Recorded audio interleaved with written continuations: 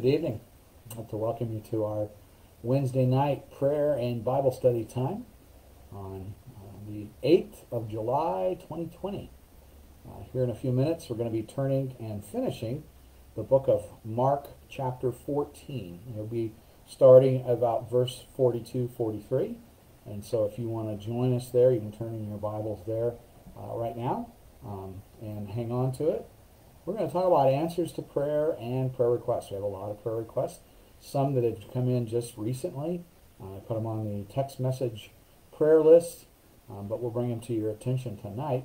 And uh, just remember that if you have any prayer requests or answers to prayer, now, you might say, well, what exactly is an answer to prayer? Well, I've driven to my mom's house and back last week safely. And I forget about all the traffic that we usually face in Carlsbad, and there's been no traffic. I drive up there and I drive back. I don't get stopped in traffic at all. So that's an answer to prayer, you know. And we ask God to take care of us and watch over us, and that's an answer to prayer. He keeps us safely in spite of things that we do that show our ignorance and or uh, dare I say stupidity. Sometimes we do things and we're we act pretty stupidly, but God protects us anyway. And so I'm thankful for that. I'm, I'm thankful for all that He's blessed us with. So today, um, we want to talk about some answers to prayer first. Uh, one of the first answers to prayer, um, many years ago, I was doing a Bible study at Congregational Towers here in Chula Vista. And um, Wanda Tribble was part of it, and Dorothy would go we had some other ladies that would meet, and we started with some neat little videos, and uh, we went through some interesting times there. Um, and just before I had cancer surgery, um, it seems like I remember that uh, they were in the midst of remodeling, and we had to stop meeting for a while.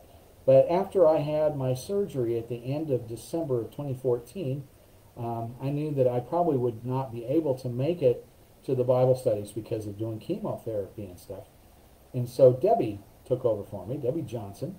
And so for now, from um, the beginning part of, of 2015 until the beginning part of 2020, uh, she was doing the Bible study. So for five years, uh, I've gone over there a couple of times and done stuff for her or met with them uh, so they would remember who I was.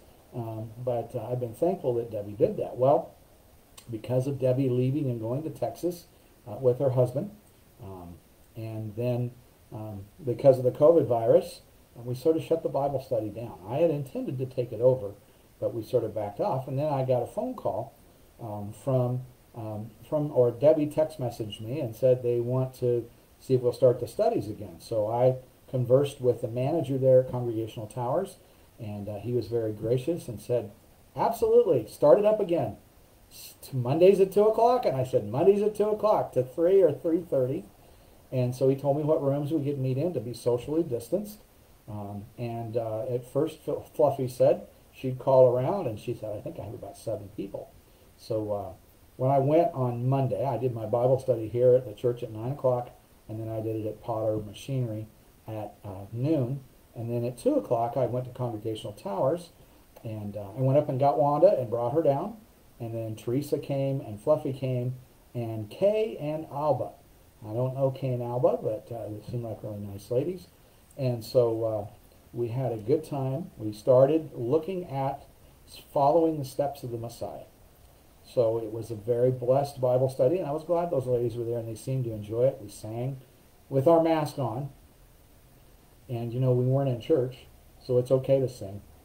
So we sang a little bit, watched a couple of videos, um, and then we watched about that and talked about the birth of Jesus. So I was glad to have that going again, that Bible study.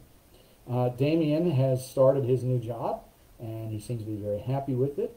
Uh, he's just praying for a few more hours. And uh, then Sandy's grandson, we were praying for him because his one of his roommates uh, tested positive for COVID-19, and Eric has been has tested and been proven negative for COVID-19. So that's a big answer to prayer uh, for Sandy. I'm thankful that uh, we can continue to meet here at church. We actually had a visitor on Sunday, and I was glad for that, a lady who's visited here before. Uh, and I uh, am thankful that we've had that ministry for Michi and Damien and uh, Katie who help run that. And I'm also thankful for the guys and uh, Lord willing, if it doesn't rain tomorrow, they're going to help me again for Phil uh, and for Jerry and for Raymond and for Damien who have come and helped me take care of the yard and for Nona and for Mike who have also come and done some things. And so I, I appreciate those volunteers who've stepped up to help keep things looking nice. Um, we had a real blessing also on Sunday morning. My wife said it's going to be hot, so they turned the air conditioner on at the house. And um, the air conditioner is elderly, and sometimes elderly things stop working, as we well know. Uh, every year for the past two or three years, there's been kind of, some kind of an issue. And uh, this one, I tried all the tricks that I knew to get it started, and we sort of prayed about it because I said, well, I don't want to have to replace it, but if I have to replace it, I will. Um, so we called um, uh, Ramiro. Ramiro is part of the Spanish church, and he's an electrician as well as an HVAC guy. And Ramiro came over yesterday, and he looked at everything and he said, "It's perfectly fine. Uh, here's what I had to do, and if I have to, if you have to come back, I can reorder that part to get that part fixed." But he said, otherwise the system's good. It should last you for a good long time yet. So that's an answer to prayer. Saved me a little bit of money and a little bit of headache. And uh, now that my family can be happy if I let them turn the air conditioning on. Typically, it, it, it it's going to have to be pretty hot for us to turn the air conditioning on in my house because I, I don't like to see that meter spinning. But that was a blessing uh, to have that taken care of. And um, we are also grateful the Lord opened the door finally. We have a little cat at our house, a female cat, and um, we wanted to make sure she would get taken care of so she wouldn't be able to have any baby kitties because uh, we don't need more. We have three dogs and two cats. And so finally, uh, we got the news that the animal uh, facility here would take her in today and do her surgery finally. She was scheduled all the way back in March to have her sur surgery, so she's just now had it. And so uh, we're glad God that's taken care of. So um, I know somebody said, "Oh, we'd love to have baby kitties." The problem is, I've found that anytime you have baby kitties or puppies, everybody says, "Oh, they're so cute," but then they don't want them bad enough to take them home. so now what do you do? I don't need more. Okay, I don't need more. I'm looking here on the comments, and it's uh, Dave and Liz's 14 years of wedded bliss. Their anniversary is that today? I'm, I'm thinking so. So uh, uh, we praise the Lord with them for 14 years of wedded bliss. Jerry says happy anniversary to you as well. Um, God protected uh, Justine the other night when she was out walking the dog, uh, but we do want to pray for her, uh, that God will be with her um, uh, with that. Uh, we want to bring these requests to you as well tonight. Um, Sam has been taken to the emergency room. That's Melody's brother. Um, Sam has had some uh, physical issues. He's doing better, um, but I guess he was coughing up blood. So we want to pray for Sam. Uh, I will hear some more, I'm sure, from Melody a little later.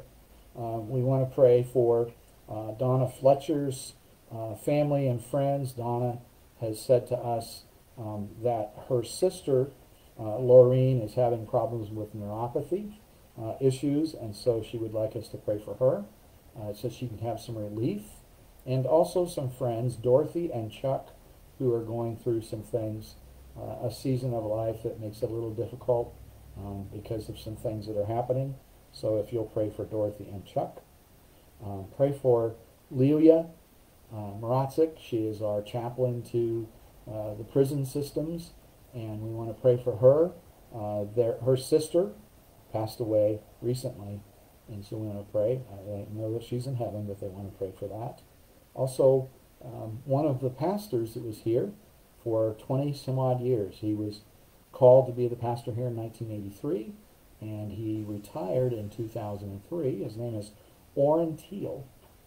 Uh, he's been back a couple of times. Um, he's in the hospital. They weren't sure exactly what was wrong, but we do pray for Orrin Teal. Some of you remember him, perhaps. Um, I know Shirley probably would, and um, Sandy and uh, Dorothy. and maybe David as well. So pray for Michael. Pray for the White Mountain Apache Reservation uh, that the Lord will help them and be with them. And um, continue to pray. Uh, we're glad that Shirley's back home safely, but keep her in prayer uh, for her family members and things as well. Uh, be in prayer for those who have COVID 19. Be in prayer for those that need work, for Tina and Tricia and Liz, that God can open some doors for them. Um, also, pray for the lost. Continue to pray for those that need Jesus Christ. Um, I was struck as we've been preaching through this series, as I've been preaching on this series of loving your neighbor. Uh, and recently I've done a couple of Bible studies on prayer, and I, I was thinking, and I really felt like the Lord led me to the message on Sunday. Some of you will see the bulletins coming uh, with the outline in it about loving our neighbor enough to pray for them. And I'm going to talk about that Sunday morning. But um, instead of uh, having angst or hatred or anger or a dissatisfaction with someone, um, we need to pray for them. We need to pray for the lost. People are doing the things they're doing that are such terrible, wicked things because they don't know Jesus. And that would be a change in their heart and their life. So we want to pray for people that don't know Jesus. So let's bow our heads in a word of prayer tonight. Dear Heavenly Father, uh, we thank you for these things. Uh, we're thankful that Eric has been tested negative. Uh, we're thankful that Damien has a new job. Uh, we're thankful for the new Bible study that we have going uh, at the Towers and the interest there. We're thankful for uh, those that have been involved in volunteering, whether it be um, Michi and Damien and Katie on Sundays, or others have been checking temperatures, Dave and Liz, or those have been coming to help with the yard work. Lord, I appreciate Phil and Jerry and Raymond and Damien and Nona and Mike and uh, all of them coming to help, and I appreciate and love them for that. We're glad that we're still able to assemble here. Thank you for the blessings at my household, Lord, with the air conditioning unit and also with uh, having the cat taken care of. And uh, we're thankful that you protected Justine. I ask that you would continue to be with her uh, as she heals. Lord, uh, we pray for Sam tonight. We don't know yet what's happening with him. Uh, just have your hand on him and be with him, Lord. He would say that he is ready at any time to go to be with you, but uh, be with his family as well. Uh, this is uh, unexpected development. We pray for Donna's friends, Dorothy and Chuck, in a new season in their lives that you might be with them. And for Donna's sister, Laureen, that you might be with her, Lord, tonight with her neuropathy. We pray for Lelia and her sisters, Lord, as one of the sisters has passed. You might be with that family. And I love you and have served you for years. Just give them peace and comfort, Lord, as is said in the scriptures. Also be with Orrin, Lord, as he is in the hospital, that they might find out what's going on with him and be able to take care of it. Uh, we pray for Larry Campbell, Lord, who has had a stroke and his cancer has gotten worse with the possibility of a tumor that you might have your hand upon him and be with him. And we continue to pray for Mike that you might be with his health. Be with the unspoken request for Andrew as he uh, has COVID 19, uh, but you might be with him in a situation. For Tina, for Dan, for Marilyn. Uh, we also pray for work for Tina and for Tricia and for Liz. And we pray for the lost. We pray for those that need Jesus Christ, Lord. Uh, we think of Peggy and Blanca and Kathy and Harry and Philip and Samantha. We think of uh, those who need to be living for you. Hotzel family has asked us for prayer, the Biddlecom family. Lord, we don't want to forget as we pray for the Biddlecoms that you might be with Bob um, and help him with his cancer treatment, Lord. And we pray also for the Bradshaw family uh, as they're going through some things that you might give them some strength and watch over them every day. Lord, we're thankful uh, for your working for the fact the Holy Spirit is still working, that you haven't left off doing your work to draw people to you for salvation. Help us to do our part to show people Jesus Christ, Lord, that we might truly love our neighbors. Um, help us to pray for the lost. And we might say, well, I just, I don't know that young man or that young woman who's doing such terrible things or has been accused of such terrible things. And uh, we need to just pray for them because they need Jesus Christ. Lord, help our hearts to be open to prayer to those. We ask that you might bless us as we study the book of Mark tonight. to finish this chapter, to reading, uh, reading up to the time of your crucifixion. Lord, that we might have our eyes opened and our ears listening to learn uh, great things. We ask this in Jesus' name. Amen. Amen. Amen. Dave and Liz say thank you for the happy anniversary. All right. So, Mark chapter 14, and we're going to begin reading there. Uh, the last place we left Jesus was in the Garden of Gethsemane, and so we'll go back to um, page uh, number 40, page, Mark chapter 14, verse number 41. Remember now, you, you, uh, we skipped over the crucifixion and all that. Yeah, we'll come back. We'll come back. We're going to do that next You said week. you felt that it just felt like you were putting the nails in his hands and all that stuff. Right. and So Right. I didn't, I didn't really know about it. Well, we're going to finish 14, and then next week we're going to do 15. Okay. All right? Uh, we will we'll come back to it. I just I, I, I didn't want to continue last week because it was a good uh, 72 verses in that chapter. yeah, We would have been here a for a while. one. It's a long one. All right, so we'll go back to uh, verse number 41. Jesus is in the garden. He's asked them to pray with him, and they've been asleep. And as he comes back to them on verse 41 of Mark 14, he came the third time and said to them, Are you still sleeping and resting? Now they were under stress. Nothing like the stress he was under, but he keeps saying, You're going to betray me. He keeps saying, One of you is going to betray me. You're all going to betray me. Uh, he's given them some things, and it's heavy things to think about. And so these men doze off. And, you know, we talked about a little bit about Satan working on Jesus, but Satan can be working on these men as well. At, at one point, when uh, Jesus spoke to Peter, he said um, that Satan desired to sift him as one sifts wheat. Well, the way that we sift wheat, and we don't do it anymore, but the way they would sift wheat is they would lay the the the, the, the harvested grass or wheat with the stalks and the and the grain out on the threshing floor, and then they would beat it with a long stick, or they would have an oxen or a mule walk around on top of it to separate the grain from the from the uh, the the rest of the uh, the wheat stalk. And then they would take it and they would winnow it. They would throw it up in the air when the breeze was blowing, and the seed would fall back down, and the chaff would blow away.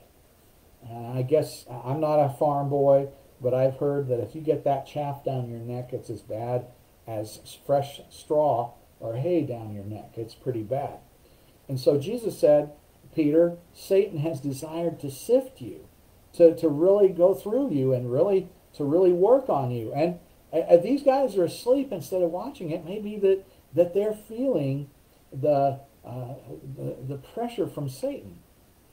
Um, not that they were lazy, not that they were unconcerned, but Satan can't possess us, but he can send thoughts to us, uh, send things to us uh, uh, that would allow us to see depression or discouragement. And so a, a natural response to that to some people is for people to go to sleep. If I go to sleep, things will be better when I wake up. And, and so uh, if you ask me why they were sleeping, um, I don't know if they were tired. I think that they may have been facing a lot of pressure as well, and that's their response. So he, Jesus comes to them the third time, and he says to them, Are you still sleeping and resting? It is enough. The hour has come. Behold, the Son of Man is being betrayed into the hands of sinners. Rise, let us be going. See, my betrayer is at hand. This is probably about midnight, midnight, one o'clock. All right? And immediately, while he was still speaking, Judas, one of the twelve, with a great multitude with swords and clubs, came from the chief priests and the scribes and the elders. So he said, I will lead you to the one that's called Jesus so you can arrest him in a quiet place. He knew that Jesus was going to the Garden of Gethsemane on the Mount of Olives, um, and they sent a large group of men. Um, in the Passion of the Christ, it depicts them as like a ceremonial guard who are still guards. Um, you got to remember that Rome has their thumb on Israel, and so uh, they would be carefully watching what any armed body of men would be doing. So we, we, we just we don't we don't they have swords they have clubs, but this is under the cover of darkness, and maybe they're hoping the Romans won't see this. And um, they're coming with the authority of the chief priests and the scribes and the elders. Verse 44 Now his betrayer, Judas, had given them a signal, saying, Whoever I kiss, he is the one. Seize him and lead him away safely. Hmm. I don't think Judas quite understood exactly what was going to happen with Jesus. Because he acts surprised when he realized what's happening with Jesus. And um, he goes back and tries to take the money back and give it to them and have Jesus released. I don't know if he thought Jesus was going to be interrogated or imprisoned like John the Baptist. I don't know. And as soon as he had come, immediately he went up to him and said to him, Rabbi, Rabbi, and kissed him. So Jesus is walking towards this. Folks, Jesus prayed, Let this cup pass from me, but not my will be done, but thy will, O Lord. And then at this place, he is walking. So it's not like Judas comes along with these guys and surprises Jesus. Jesus is walking towards them. And he comes up along, and Judas comes up to him and says, Rabbi, Rabbi. It's a term of respect. Teacher, teacher. And kisses him, not on the lips, probably on the cheek. And um, in the other Gospels, it says that Jesus said, Friend, why have you come? And we read last week that Jesus said when uh, Judas was sent out to do his job, that Jesus said it would have been better for this man that he had not been born, speaking of Judas. But it's interesting, even in the midst of betrayal, Jesus offers forgiveness. Jesus offers an opportunity for repentance because that's what Jesus is all about.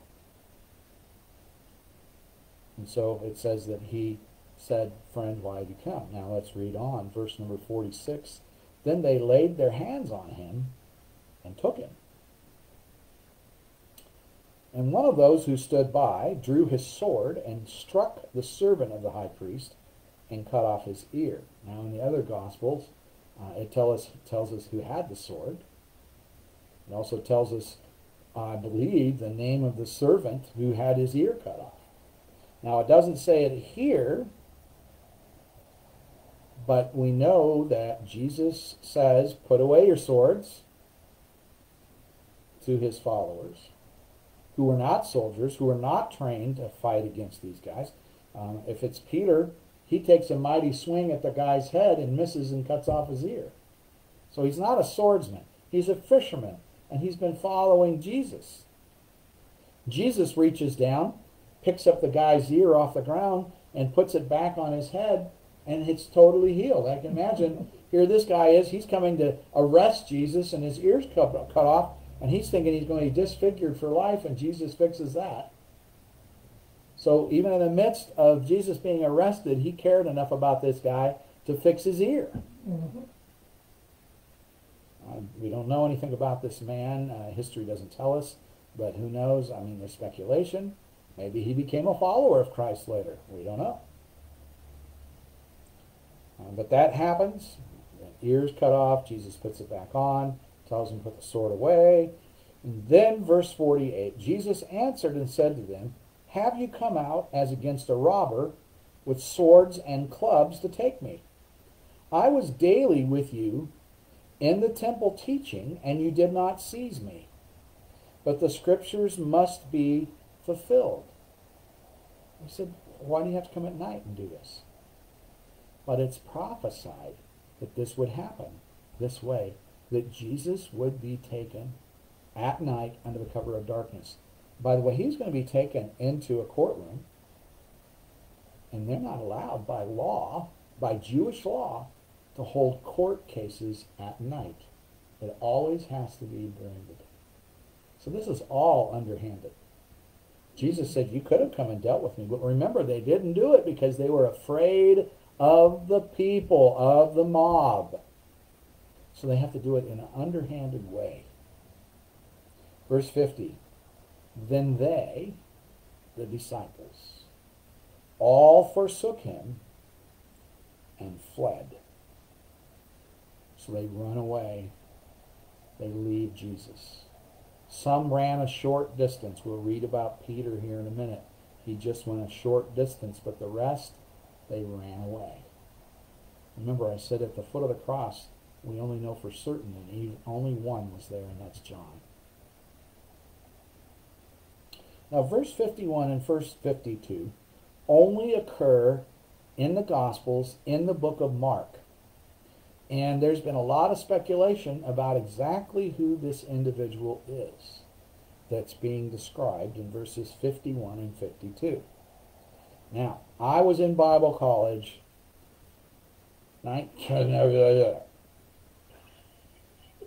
1979. I graduated from high school. I went to Bible college in the fall of 79, and I graduated from Bible college in 1984. That's a long time ago, Mhm. 40 years ago. So um, I remember, though, in class, I, I don't think I'd ever come across this verse. But it seems like the professor said, by the way, um, you guys have heard about everybody that does all the streaking at the baseball games and the football games, and because that was a thing back in the 70s. Um, streaking is taking off your clothes and running across the field, okay? Um, not your shoes, though, you don't want to hurt your feet. And it was just a thing that they did to rebel, okay? Uh, and they said, the professor said, here in the Bible is an instance of somebody streaking. We're like, what? what? And verse 51 and 52, and so we'll read that in just a moment. But they said this is the kind of detail that I'm, of all the things that we see in the Gospels, Matthew approaches it one way, Mark approaches it another way, Luke is a doctor, and so he writes that way. A lot of John is not in any of the other Gospels. It's seen by John. This is a very intimate detail that they said, the professor said, was probably only known by the author of the book, who is John Mark. John Mark goes on the first missionary journey with Paul and Barnabas. He's related. Uh, Barnabas is his uncle or a cousin, and so he's related to him. And he goes on the first missionary journey, and uh, he has an issue because it's just too much for him, and he goes back home to Jerusalem. And later on, they go on the second missionary journey, Barnabas and Paul. And Barnabas goes, "Let's take John Mark again." And John uh, and Paul says to Barnabas, "No way, no way. We're not doing it again. He messed up. He didn't go with us." Now, um, that was a bit of pride on Paul's part, but actually God was working because God didn't need one team anymore to go on that missionary journey. Now you can have two, because you have two trained missionaries, and so they can take a man apiece and go and start new mission stuff. And so Barnabas and John Mark went to the island of Crete, and uh, Paul and Silas went a different direction. And later on, um, Paul writes in his epistles, and he says, Bring John Mark with you, because he's profitable for my ministry. And we think that was about the time that John Mark was writing this, uh, the Gospels. And, and so uh, John Mark had some big things happen in his life. He was not one of the original disciples, but he is a follower, okay? And he has seen this stuff, and it says in verse number 51, and this would be a detail that probably only John Mark would know if it happened to him, okay? Now a certain young man followed him, having a linen cloth thrown around his naked body. And the young men laid hold of him, and he left the linen cloth and fled from them, naked. Now, the speculation was that simply this that the upper room may have belonged to Barnabas and John Mark's family. And so, uh, John Mark, as a, as a disciple of Jesus, not one of the twelve, but as a follower of Jesus, was paying attention uh, to what was going on in the upper room because it was Jesus and it was the disciple, it was Peter, James, and John. And so, when they left, uh, maybe it, it, it woke him up, or, or uh, and he followed them out to the Garden of Gethsemane, just wrapped up in his linen cloth because he was hot, I guess. I don't know how they slept. I don't even want to get into how you sleep. Okay, I'm not going to tell you how I sleep. But uh, then, uh, or it could have been when the uh, the armed men who had swords and clubs when they went through town, they made a little bit of noise, and John Mark woke up and sort of followed along, and so he's there. Jesus has been grabbed by these guys, and the disciples all flee, and here's John Mark standing there, and one of them was, "Oh, here, look, here's a disciple," and so they go to grab him, and they all they get is his blanket, his, his linen cloth, and he drops it and runs off. Okay, so it's a very small detail, and it's a very private detail that probably, uh, and you say, well, why would John Mark put that in there? That's a very humbling detail for several reasons. One, he, just like the disciples, didn't do anything to stop the arrest of Jesus. And two, his exposure is a, is a terrible thing. It is night, it's midnight, one o'clock, nobody's up except the, the men that had come to arrest Jesus and John Mark. But if you think about it, we all are like Adam and Eve in the Garden of Eden when they ate of the fruit of the tree of knowledge of good and evil. And Adam and Eve both said, um, We're naked. And God's coming. So they made clothes out of fig leaves, which is not a real bright, a brilliant idea. I would have found some elephant ears or something. They made clothes out of fig leaves, and then they hid, like God wouldn't know where they were at. But when we stand before God, and we actually have that one-on-one relationship with God, we realize that the Holy Spirit will help us to know that everything is laid bare. All of our secrets, all the things that we think we're hiding so well from everybody, in God's presence, it's as if we're naked before Him. Everything's stripped away, and God knows us exactly. So this is a very humbling experience. It's a humbling experience to know that God knows everything. You're not hiding anything from God. You think you're doing it under the cover of darkness? you're not hiding it from God. He can see in the dark. You think you're hiding it because you're doing it where nobody else is paying attention? You're not hiding it. God knows. God knows. He sees everything. So, uh, there are other possibilities who this could be. Uh, it's not anything that affects us doctrinally. If you don't, if you say, well, I don't think that's John Mark, it's somebody else, that's all right. That's just what I was taught when I was in Bible college. Verse 53. And they, the mob that arrested Jesus, led away, led Jesus away to the high priest. And with him were assembled all the chief priests, the elders, and the scribes. Now they go to the high priest's house, who's called the Sanhedrin together, some of them, the ones that he knew would give a bad vote.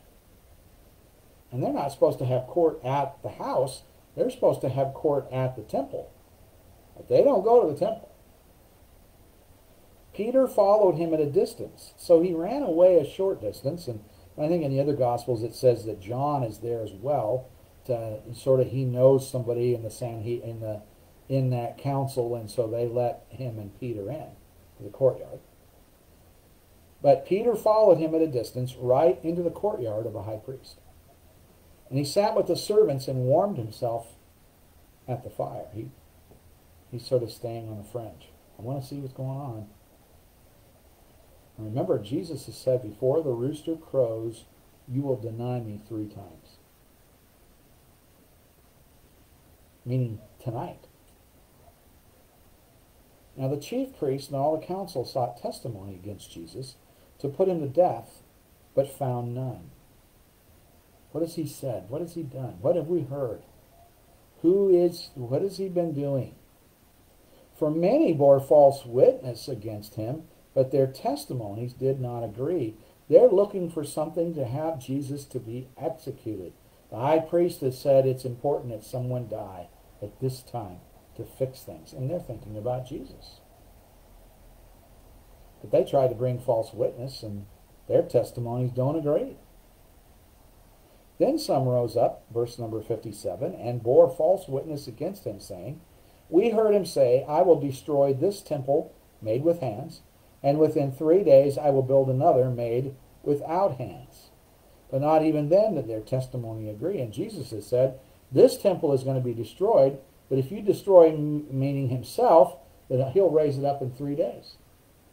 And they were always saying, Well, what are you, what are you talking about? It took 70 years to fix this temple the way it is right now. And you're going to see it torn down and rebuilt in three days? Who do you think you are? And the high priest stood up in, uh, in the midst, verse 60, and asked Jesus, saying, Do you answer nothing? What is it these men testify against you? But he kept silent and answered nothing.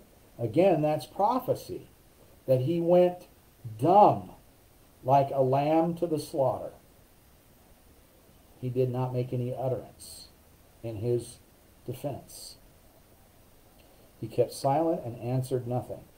Again, the high priest asked him, saying to him, Are you the Christ? And remember, Christ means Messiah. Are you the Messiah, the Son of the Blessed? Jesus said, I am. Now, that short little phrase is a powerful phrase. God's name in the Old Testament is I am. You might say, well, that's just a little short phrase, but it's a very powerful phrase. Mm-hmm. When Jesus was being arrested, they came and they said, Are you so and so? And he says, I am. And in the other Gospels, it says the men stepped back when he uttered that. Remember, this is the voice that spoke creation into existence. He speaks and there's stars in the heavens. He speaks and there's water and animals and plants and land. Man. Jesus says, I am. And you will see the Son of Man, me, sitting at the right hand of the power and coming with the clouds of heaven. I am going to be on the right hand of God absolutely truthful, but it blows their mind. The high priest tore his clothes and said, What further need do we have of witnesses? Now, you may have heard of somebody getting so upset they tore their hair out. That's not what happened to me. My hair is just given up. I always thought I never want to be bald, but that's me. It's not because nobody pulled my hair out, not because I pulled my hair out. But they were so angry, and it was very much a, a thing to show their displeasure by grabbing and ripping at their clothes. Just to tear it up. Not like the Hulk did when he got mad, where his shirt shreds, but he wears some amazing stretch pants every time. Yeah. But they tore their clothes, and they said, This is it. What further need do we have of witnesses? We've all heard him. You've heard the blasphemy. He's saying he's God, that he's going to sit at the right hand of God. What do you think? And they all condemned him to be deserving of death. Then some began to spit on him.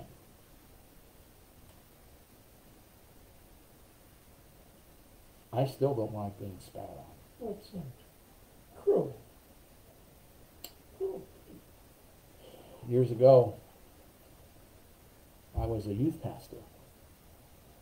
And some of the young people figured out that if they did their tongue a certain way, I forget, I think they called it gleeking or something. They could get a little bit of spittle. They weren't making sound like you're going to spit, but they could get a little bit of spittle to fly out and land on you. So you'd be wet. And so I straight out told them, I said, if you spit on me by gleeking, I'm just going to go and spit on you. And so I remembered that it wasn't real great illustration, I guess, or a great thing for me to do. I was still a young man. Uh, one of the kids gleeked and it got on me, so I just went. Because he goes, What'd you do that for? And I go, Well, what do you think you've been doing to me? You're spitting on me. That's coming out of your mouth, isn't it? It's not like you cupped water in your mouth and squirted it at me or something. Didn't use the squirt gun. So I, I just know that even in today's society, to spit on somebody is just to show absolute contempt. No honor at all. And these men are being used by God to condemn Jesus. It has to happen this way. Read Psalm 22. Read Isaiah 53. They began to spit on him and to blindfold him and to beat him and to say to him, prophesy. Who hit you, Jesus? Did you feel that? Who was it that hit you? And the officers struck him with the palms of their hands like they were slapping him. Now, it's one thing for a man to beat on another man with a fist, but it's quite another. It's a whole different level of indignity to go up and to slap somebody, and they don't return the slap. Remember, Jesus said, if someone hits you on the cheek, turn the mm-hmm. other cheek. This is nothing compared to what the Romans are going to do then. No. but they began the beating now. Now I've I've seen the movie The Passion of the Christ, and we know how terrible the guys treated Jesus, and they pushed him off the bridge in the Garden of Gethsemane. Um, remember, the, the the Passion of the Christ is a great depiction of the crucifixion of Christ, but it's not all based on Bible. It's based on some writings of man that, that say, well, we think this happened. It was a couple. It was a woman who wrote some of it, and um, Mel Gibson produced that movie, which is I'll watch it because it brings me to tears to see what Jesus went through for me. But it's the same way with me when, when I watch King of Kings. Amen. And Amen. I watched it a, a few times, and I, I just almost get tears in my eyes every time I watch it. Yes. To realize what Jesus went through for us. But um, to think of them doing these horrible things. This begins his beating. Verse 66. Now, as Peter was below in the courtyard, remember he's at the fire, what's going to happen to Jesus? One of the servant girls of the high priest came. When she saw Peter warming himself, she looked at him and said, You also were with Jesus of Nazareth. But he denied it, saying, I neither know nor understand what you are saying. What? What are you talking about? Me? Being with Jesus of Nazareth? One. And he went out on the porch, and a rooster crowed. Now, it's getting a little bit further along in the night, and if you have ever had roosters, they don't wait always for the sun to pop up. No, they just, If there's a glimmer of light in the east, it could be your neighbor driving in the driveway. The rooster starts crowing. yeah, Four o'clock, three o'clock. So he leaves the fire and goes out on the porch. And the servant girl saw him again and began to say to those who stood by, This is one of them. This is one of the followers of Jesus. But he denied it again. And a little later, verse number 70, Those who stood by said to Peter again, Surely you are one of them, for you are a Galilean, and your speech shows it. We've heard you talking. Your act your your accent makes us think that you're not from here. When I go back to Georgia, I find myself talking like the people in Georgia do. My family got irritated at it one time because they're like, "How come you're talking like this? Talk like you're from California, not from Georgia." I'm like, "Well, I adapt to where I'm at." But there was obviously a difference in uh, the Galilean language. They could tell. It's just like you can tell if you're somewhere if they're from California or from New England or from the mid Midwest or from Texas Everything is said a little differently and a little different inflection in the words and different words. Y'all and ain't and gee and all that kind of stuff said in the size. So they know uh, who Peter is from. or They know who he is and they know where he's from. And verse 71 is pretty sad. Then he began to curse and swear. I do not know this man of whom you speak. That had to really hurt Peter. Well, Peter really isn't thinking just yet. And and Peter I'm a lot like Peter sometimes. Where I have a foot-shaped mouth where I say things before I think it through and I'm always having to pull my foot out of my mouth. Well, I think we all do one time. Well, we hopefully as we get older, we sort of get a little bit of wisdom and think, wait, I better not say that. Did I say that out loud? Um, but Peter has been told that he's going to betray Jesus, and yet he's not thinking, because Peter is only thinking about Peter right now. He's not thinking about Jesus. Yeah, he's sort of there to see what's going on, but I think he's just concentrating on Peter. he gets to cursing Mhm. and says, I don't know who you're talking about. Verse 72 A second time the rooster crowed. Then Peter called to mind the word that Jesus had said to him Before the rooster crows twice, you will deny me three times.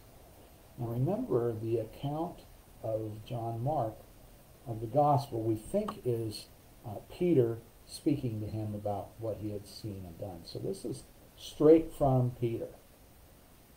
Course, the Lord has inspired this. Okay? But we, uh, we can really see what's going on in Peter's heart.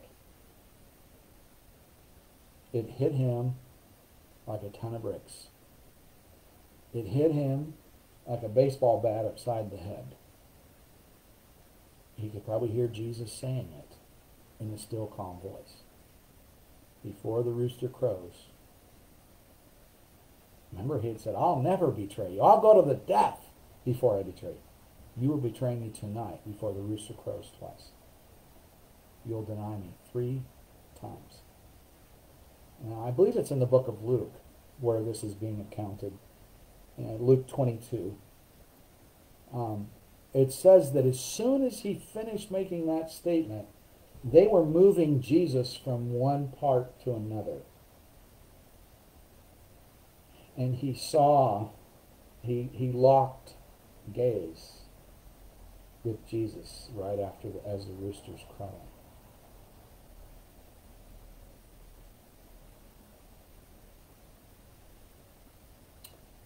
We've read about the transfiguration of Jesus. He's a man, probably very nondescript. The Bible tells us that he's not very handsome, that we would think of him as being handsome. Probably uh, olive skin, Mediterranean coloring, brown eyes, black hair, brown hair. He, he doesn't look like the most handsome man in the world. We know that Peter and John and James have seen Jesus at the Mount of Transfiguration and have seen uh, his appearance that's his normal appearance. Okay? When he put on earthly flesh and blood, he put aside his Shekinah glory, it's called. That's the glory of God, his holiness. Um, that shines forth because of that. So, um, Peter has seen that. In the book of Revelation, chapter 1, John gives us a description. He says, I was in the Spirit on the Lord's day, and um, I heard a voice speaking behind me as the rush of mighty waters. And, and I turned around, and I saw a figure, and his eyes, he describes him, and he says his eyes were a flame of fire.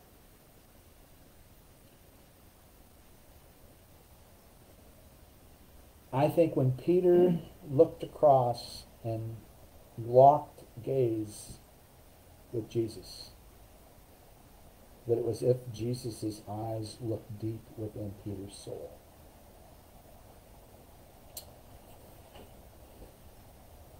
I love my dad. My dad did a great job, my dad and mom, disciplining two rascally boys. I, I, I deserve every bit that I get from raising my three daughters with Darcy. All their rascally stuff because I did all that to my dad and mom. Um, and I, if I remember correctly, I think I got my last whooping when I was a freshman in high school. It was something I had done that my dad wasn't happy with. And, okay, we need to go have a little discussion in the bedroom. And he would say, okay, bend over the bed. And he'd take off his belt. Sometimes uh, he would always say, you know, my dad would give me the buckle too, but he would never give my brother and I the buckle. He would just get the belt. I almost preferred dad's whippings over mom's because either she'd get the switch and go up and down our legs, or she'd get the little skinny vinyl belt out. Man, that thing hurt. Well, when I was fifteen, uh, me and my brother was tussling up in the bedroom, and I kicked them. I kicked the. I broke the window pane in the window, Uh oh. and Daddy heard it, and he Uh-oh. came up there, and he said, "Which one of you boys did this?" And and and my brother, Judge said, "Whip me, Daddy. It was me." And he says, uh, Sheriff Kelly, he says, uh, is that the way it happened? Mm. And I said, no, Daddy, I, I kicked the win- I, I broke the window. Mm. So he said, well, uh, you're gonna get a whipping. And so I bowed up at him and I said, you're not whipping me, old man. Mm. And he hit me with his fist. And knocked me back on the bed. Mm. And I thought I was bleeding, but I wasn't. It was sweat. My dad never raised his fist to me. It was always a belt.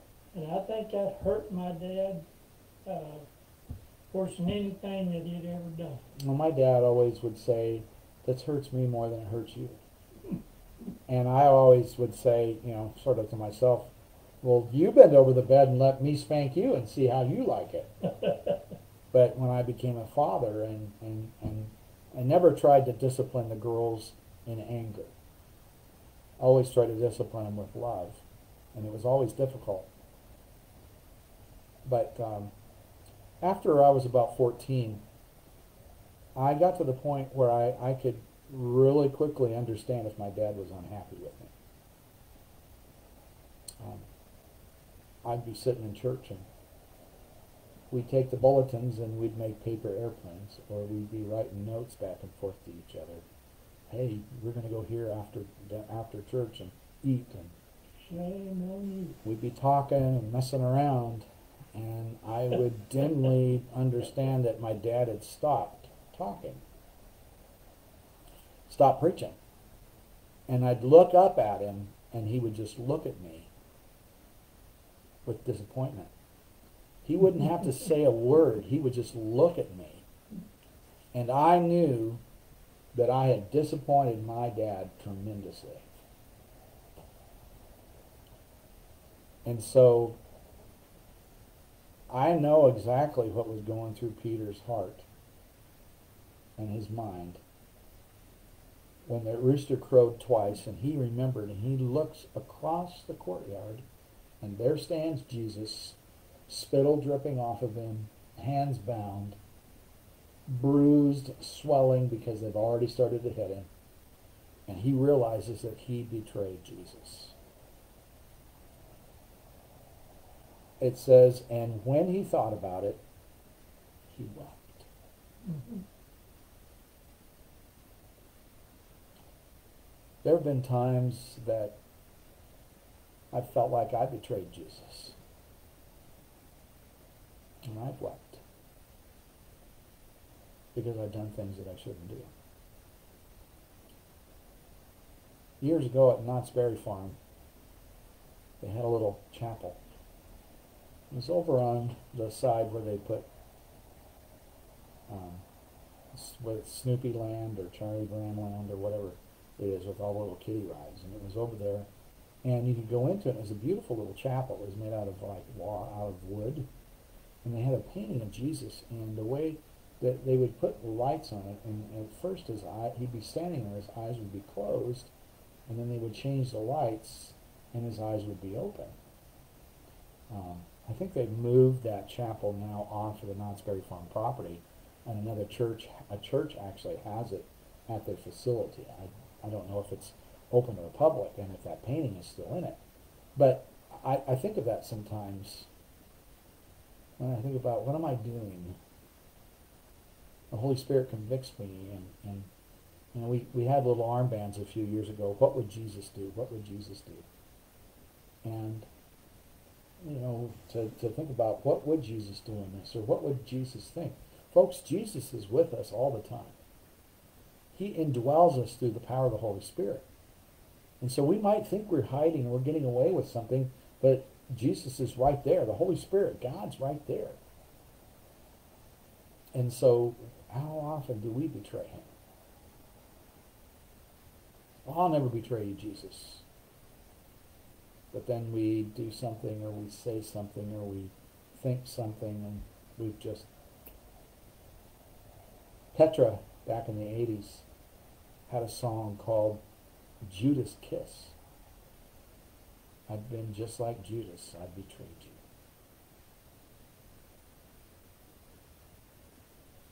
And think about what Jesus did for us in Romans 12, 1 and 2. I beseech you therefore, brethren, by the mercies of God, that you present your bodies a living sacrifice, holy, acceptable unto God, which is your reasonable service. Why is it my reasonable service? To give my whole self over to Jesus because he died for me. Mhm. Be not conformed to this world, but by be transformed by the renewing of your mind. So we ought to live differently because we're believers. Peter is broken. We don't even know that he was at the cross. Um, we don't know. We see him haltingly going to the empty tomb. And he, he's not fully fixed until he stands before Jesus on the shore of the Sea of Galilee. And Jesus asks him three, ask him three times, Do you love me? Do you love me? Do you love me? And he gives Peter directions. And then we see in Acts chapter 1 and chapter 2 that Peter is a changed man. He's been he's repented, he's forgiven, he's not going to betray Jesus again, and his life has changed. I was just listening to Acts this in your Bible reading. Amen. Amen. And when they tell Peter not to talk about Jesus anymore, he goes, We ought to obey God rather than men. And they let him loose and say, Don't mention Jesus' name. And he goes to the church and they have a giant prayer meeting and they say, Lord, help us to be more bold to talk about Jesus. If you've betrayed Jesus, if you've done things that you shouldn't do, you can ask his forgiveness. You can be repentant. Don't be sorry because you got caught. Be sorry because you know it's wrong. And change your life and live like he wants you to live, a holy life. Totally given over to him. And whatever he wants you to do. Next week we'll pick up in chapter 15. And we'll see the events leading up to his crucifixion and his crucifixion. we only have a couple more chapters here Mark chapter 15 and Mark chapter 16. You'd like to make some suggestions on where you'd like us to go after this, uh, I'll consider that and pray about it. I don't know how soon it will be before uh, we're allowed. Uh, we could probably start having Wednesday night Bible studies again. Uh, we just have small groups. Um, all, if you are interested in doing that, some of you are on uh, with me right now. If you're interested in restarting those, we'll take your temperature. We'll sit in a large, larger room so that uh, you can uh, keep your mask on, and we'll return to our Wednesday night Bible studies. Um, but consider it and pray about it and let me know. I've enjoyed doing this verse by verse, and I don't have a problem with continuing it. Um, and I may, if we go back to those Bible studies in person, I may do this, but just do it on a different time uh, and talk about uh, verse by verse so that people will know what the Word of God has to say. I think it's important. But uh, thank you for spending time with us tonight, and let's have a word of prayer. Dear Heavenly Father, we thank you for your love, and we thank you for what you've done for us. I pray that you might help us not to betray you, that we'll consider what you've done for us. And if we have betrayed you, Lord, thank you for 1 John 1 9. If we confess our sins, he is faithful and just to forgive us our sins and to cleanse us from all unrighteousness. I thank you for that. And be with us as we go about our week, the rest of this week. You be with Sam and with these other requests, some very serious things going on right now that you might answer those needs. We ask this in the name of Jesus Christ. Amen. And Thank you for being with us tonight. God bless.